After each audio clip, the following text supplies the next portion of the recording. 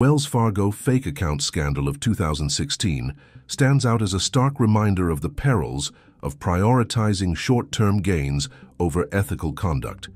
Wells Fargo, one of the largest banks in the United States, faced severe backlash when it was revealed that thousands of its employees had opened millions of unauthorized accounts without the knowledge or consent of customers. The scandal illuminated the toxic culture within the bank that pressured employees to meet unrealistic sales targets,